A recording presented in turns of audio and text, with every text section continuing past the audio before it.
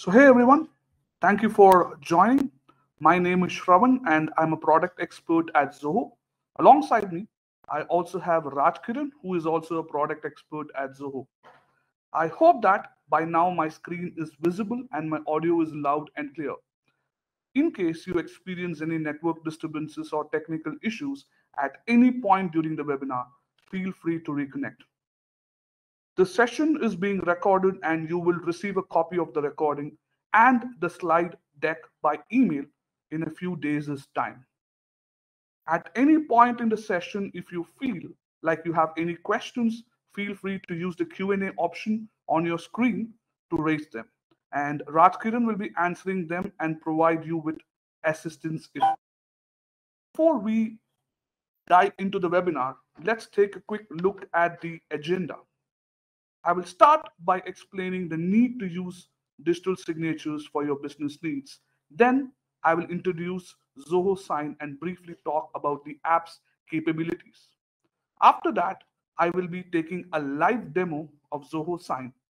Towards the end, if there are any unanswered questions, we can have an extended Q&A session to answer them. Please note that this will be an interactive webinar session. And after every feature is being explained by myself, I'll be giving you some time to try the same feature out. And if you're facing any issues, you can drop the questions tab. All right. So before we learn how e-signatures differ from digital signatures, let's take a quick poll.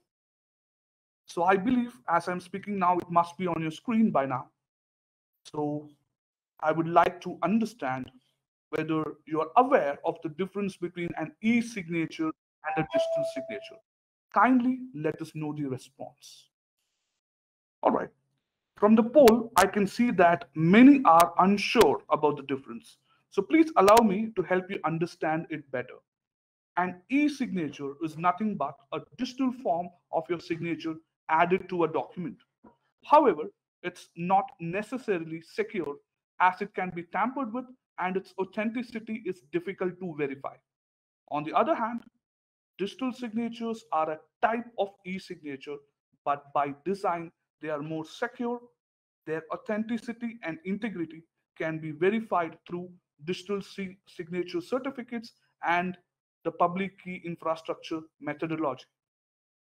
As a result, digital signatures are widely accepted as a legal equivalent to hand-drawn signatures and stamped seals, but they offer far more inherent security. So why digital signatures? As you can see around, digital transformation is happening everywhere, and it's high time that your business digitizes the document signing process. The traditional method is always time consuming and cumbersome and has its own set of disadvantages, like for example, poor handling of important documents, waiting for the courier document, missing the deadline for document signing, and renewing your contract because you failed to keep track of it. A digital signing solution like Zoho Sign will not only help you to solve these problems, but will also help you streamline your workflow. So what is Zoho Sign? Zoho Sign is an e-signature application that helps you send, sign, and manage business paperwork using a simple yet secure cloud-based digital signing process. The software has already saved businesses millions of dollars in administrative costs by helping them digitize their documents and contract lifecycle. Zoho Sign offers all the key functions and features of a digital signature solution, along with several more sophisticated customizations that help improve overall productivity and efficiency. And the cherry on the top is that Zoho Sign readily integrates with your in-house apps using our very own REST APIs, webhooks, and mobile SDKs. And if you're someone who is totally new to Zoho Sign, then you can click the link below to sign up for a free 14-day enterprise trial which will give you sufficient time to explore the app completely. Since I'm sharing my screen now, you won't be able to click there on the URLs. once the deck and the recording are being shared with you via email in a few days' time, you can try it out. Here are the broad use cases across departments and functions where you can put Zoho Sign to use. Let's take a person who has been recruited by an organization for a customer facing role. So to complete their onboarding process, you can get their signatures on various documents ranging from employment contract and NDA, which can be easily done online using an automated workflow in Zoho Sign. So once he's got into the organization, he can go about using Zoho Sign from his sales app to send out documents to clients and associates to have them digitally signed. And further, he can raise financial documents that are signed by the respective authorities within the organization and can be delivered to the inbox of the clients directly from Zoho Sign as well. As a customer facing person myself, I can relate to these use cases and how a digital signing solution like Zoho Sign can help me close a deal with minimal paperwork. There are several more use cases and one can use Zoho Sign for, and this is barely scratching the surface in terms of what we see the app being regularly used by our customers. So the highlights. Zoho Sign offers multi-factor authentication, tamper-proof audit trails, and blockchain timestamping along with the certificate of completion. Along with this, Zoho Sign also offers signers identity verification, integration with various QES, AES trust service providers, trusted document timestamping, collecting signatures via SMS securely. These tamper-proof features will help you in making sure that the intended person has only signed the document. There are many ways to digitally sign a document for it to be legally valid across the globe. Zoho Sign helps you to comply with regional and international laws, such as the following the e-Sign Act in the United States, the eIDAS in the European Union, the PIPEDA in Canada, in the ACTA in Africa, the Electronic Transaction Act in Australia and Southeast Asian countries, and the Information Technology Act of 2000 in India. Accessing your documents across platforms is important in today's hybrid work environment. To help you with that, Zoho Sign has native mobile and desktop applications available across popular platforms such as Android, iOS, iPad, Mac OS, and Windows. Zoho Sign is also one of the most tightly integrated apps within the Zoho ecosystem, which is a real value addition to your stack of Zoho tools. So in terms of the integration, you want documents such as sales agreements, invoices, estimates to be you can use extensions of the respective apps like Zoho CRM and Zoho Finance.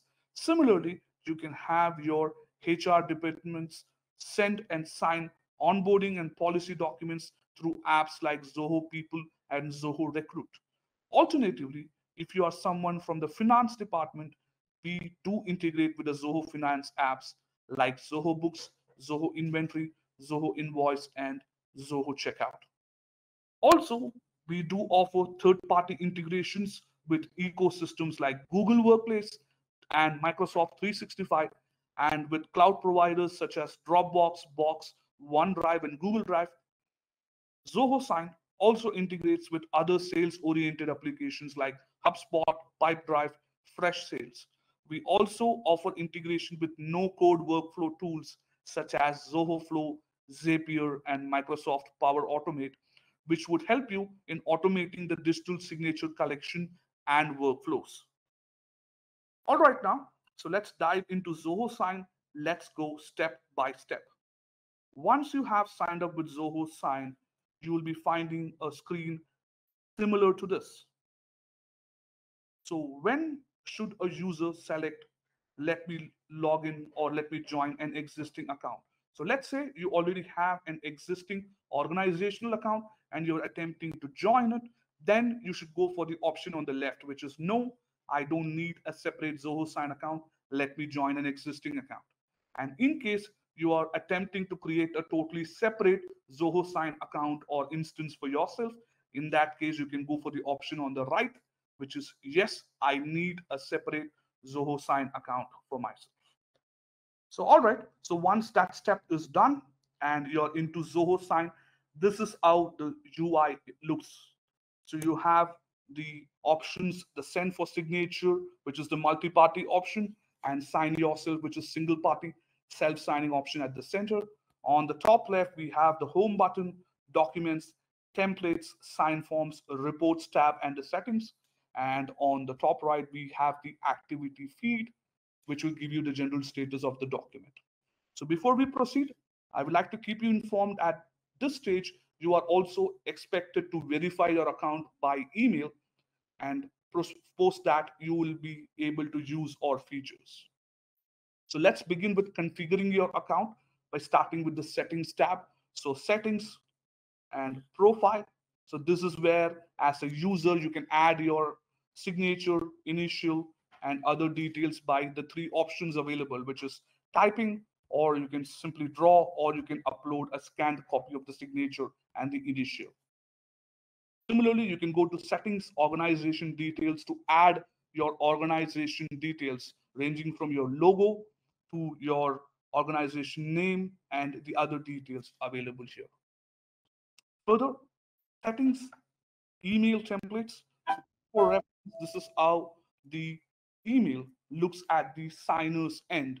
So you can very well customize the look and feel of it and brand your logo by using the edit template option.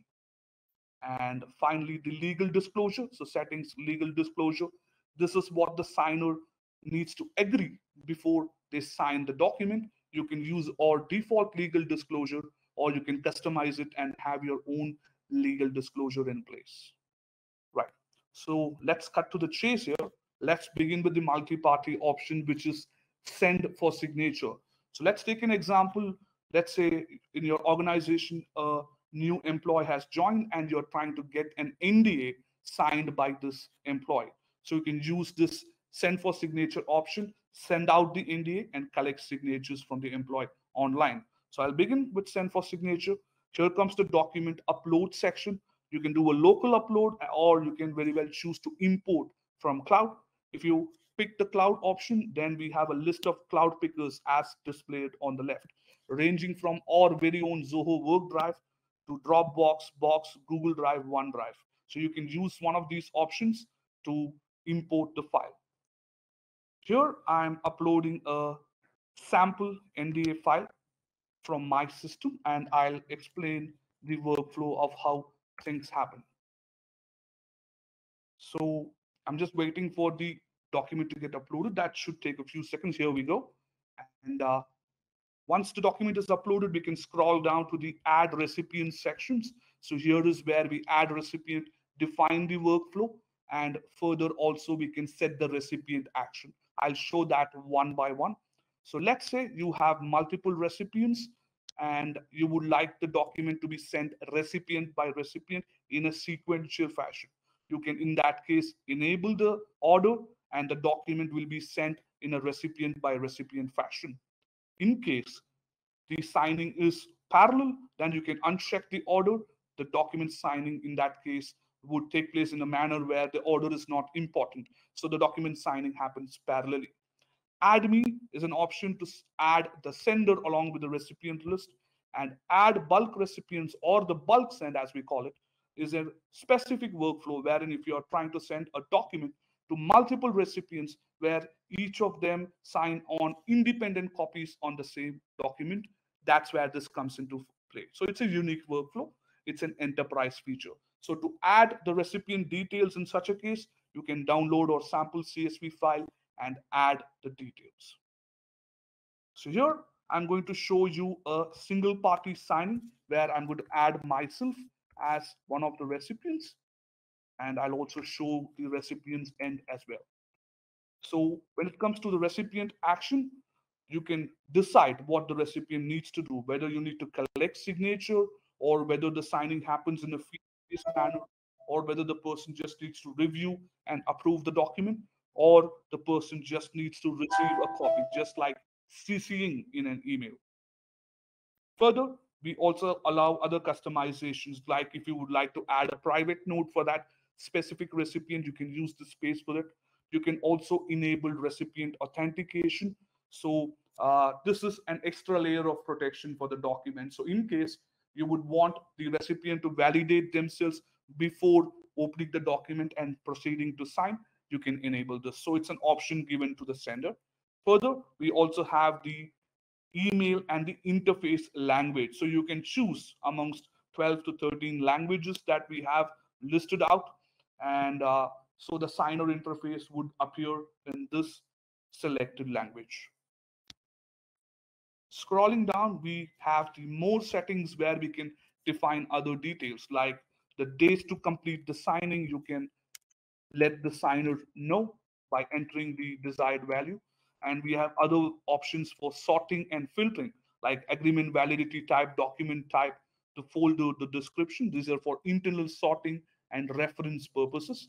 And further, you can also enable the automatic email reminders and also send uh, the reminders based on the delivery period set over here. And if you're going to leave a generic note for all recipients, you can leave it in this space. Once we are done with this page, we are expected to click on continue. That in turn takes us to the document viewer page. So this is the page where I would be adding the fields for the recipients. So top right gives you the list of recipients and bottom right are the fields that we can add, right? So just for your reference, we have a bunch of fields, a whole variety of it. Just to name a few, uh, you can collect attachments from signers, you can collect signatures, you can collect textual input, you can use the radio buttons, checkboxes, as well as use the payment field to collect payments from the recipients as well. So for this part, I'm just using the signature field. So I'm going to collect the signature of the recipient or the employee on this sample NDA. That's the agenda here. So I've done uh, adding the field. I'm just going to click send and confirm. That will send the document out, right? And all these documents are encrypted and stored in our servers. You can very well view and track them using the documents tab. That's the whole purpose of documents tab to give a, your a consolidated view on the UI itself. Now let's quickly move to the signer interface, right? So the signers need not have a Zoho sign account. They can always access this mail from their mailbox. We also support mobile-based signing as well. So the signer is just expected to click start signing that in turn will take them to the document information page. So this is how the document information page looks. They are supposed to click on proceed to the document. That in turn takes them to the document itself where the actual signing happens.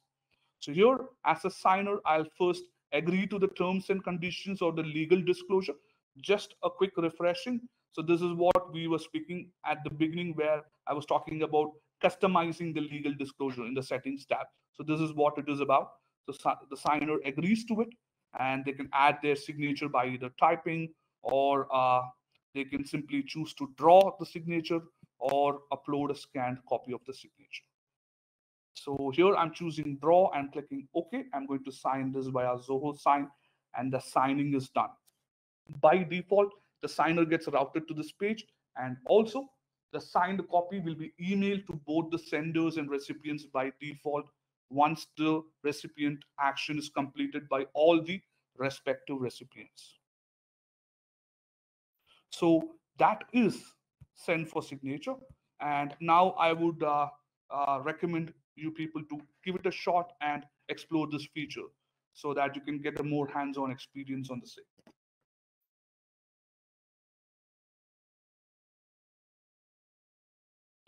just for your reference, so uh, we have put a sample NDA document so that you can use that and explore the send for signature feature.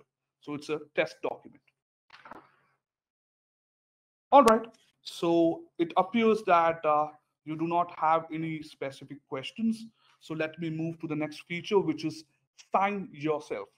This is a single party self-signing feature. So let's say I myself being a Zoho Sign user, if I need to sign on a document, it could be an NDA or an offer letter or any document for that matter or any agreement for that matter.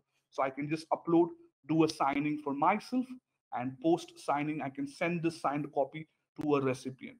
So here I'm just adding my signature. It is to be noted that all these fields are already saved under my profile, which I showed at the beginning. So I'm just going to add my signature, sign the document and click sign by Zoho sign. The document is signed. If I need to email this document to a recipient, I can add their email address and click send. All right. So you can give it a shot and try this option as well. And let us know if you have any questions on that. All right then, so if there are no more questions, I believe we can move on to the next feature, which is the templates. So templates come into play where you have common formats of documents that you would like to keep reusing. A best use case example is an NDA, which I already sent. So let's say I've already sent this NDA to an employee and I want to send this once again every time a new employee onboards. So in that case, going to send for signature, uploading the document, adding recipients and adding the fields subsequently would be a manual and cumbersome process because you have to do that every time. To save time, we can use the templates wherein documents with common formats like the templates I just showed, uh, you can just add it. It follows the same workflow which I showed you for send for signature. So in this case, you're saving them off as a template. And whenever you need to use it, you can simply come to the templates tab. Within a few clicks, you can send out the template manually. So let's say if I want to send this template, I can just double click on it. I can pre-fill values, and then I can add the recipient details and quick send without the manual process which I showed at the beginning. So in short, the templates are a feature to wherein you have common formats that you would like to keep resending or reusing on a periodic basis. So yes, you can also go ahead and create a template and see how it works. And also, if you have any questions, please feel free to use the Q&A section. We'll be more than happy to assist. All right, so we'll move on to the next feature, which is sign forms. So sign forms is a feature with a unique functionality. So this comes into play, let's say, where the user of Zoho Sign would like to generate a signing URL, which is secure, and they would like to publicly distribute this via a website. And a classic use case example would be a website registration. For example, you have a website of your own where you are encouraging users to come sign up for the website, and in the process, they'll be agreeing to the terms and conditions. So in that case, instead of sending the document by email, which we saw just now, you can generate the signing URL and directly embed this on your website. So anybody who gets to the website, signs up to your website, just can access that secure link which is embedded and get to the document and do the signing. Right. So for sign forms, you can just go to sign form, create sign form option, and a prerequisite to it is to have a template, which we just saw earlier. You can choose a template fill this form, which requires details like name of the sign form, its validity, and whether you would like to enforce signer authentication and the limit to the sign form responses, whether you want to close off the signing with 50 people, 100 people, so on and so forth. And also, you can avoid duplicate responses. And clicking create will create the sign form. So these are some of the test sign forms which I've already created. You can just go to actions and whenever you would like to get hold of the url signing url that is you can just copy the url and you can embed this on your website right? At the recipient end it looks something like this. So the sign form url when the recipient clicks on it it'll ask them for their name and then their email address. They'll enter that and they'll click start signing. That takes them in turn to the document signing part which takes place. So I'm just shared that particular scene of how it looks at the signer's end. I hope you're able to see my screen. So this is the signer end of the sign form, signer information page, as we call it. So the signer would enter the name, their email address, and just click start signing. It takes them to the document signing portion which we saw earlier in the first example, right? And further, as a sender, you can always view the associated responses of the sign form. So you can just go to the actions tab corresponding to that particular sign form and just view the associated responses. It'll give you the complete details of who all are the signers who have signed the sign form. So yes, if you would like to explore this option or if you have any questions on these, please go ahead and shoot the questions. We'll be happy to assist. All right. So thanks for the questions there. Uh, and let's move on to the next feature that we have, which is the reports tab. So reports tab can give you graphical representation of uh, the document status and further uh, as a simple use case, let's say you would like to view the declined or the completed or the in progress documents, let's say in the last 20 days or two months, you can very well choose the custom date and the reports exported in a CSV format. So that's the whole purpose of reports to generate the reports based on the document status so that you can have a view of them in a CSV format. So with that, yes, I am uh, done with the demo part of it. So that covers the basics of Zoho Sign. So here are some uh, important URLs to help you in getting started with these integrations. So if you are stuck at any point while setting up your Zoho Sign account, you can always find related help documents in the very first link. We also have individual links for our solutions guide, integrations, and API guide. We also have our very own YouTube channel and video repository where we upload all webinar recordings along with how-to videos for all our native applications. If you have any other queries, ideas, or want to engage in discussions with our community of developers and users, you can visit our forums and participate. I've also given the links for you to read up on the legality of Zoho Sign in your country, its pricing, and request a personalized demo for your organization. Zoho Sign also offers paid one-on-one -on -one trainings. You can know more about this by clicking on the link present in the slide. So this is what our customers had to say about Zoho Sign in the Twitter world. And if you have any questions or any feedback or need any form of assistance, you can always reach out to us by email at support at zohosign.com or support at eu.zohosign.com in case you're from the EU region. You can also visit our social media pages for the latest announcements regarding our product and engage with us over there too. Thank you all for participating. I hope you all had a lot to learn and a lot of takeaways from this webinar. Do watch out for our future webinars and join us to learn more. Until then, this is Shravan taking leave on behalf of Zoho Sign. Take care. Have a great day. Thank you.